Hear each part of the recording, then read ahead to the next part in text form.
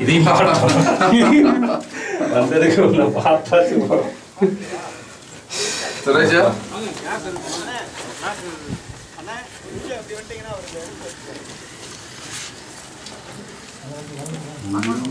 உனக்கு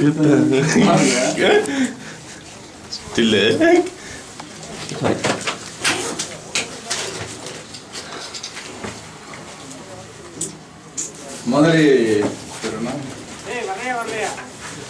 வாரேன் வாரேன் போகணே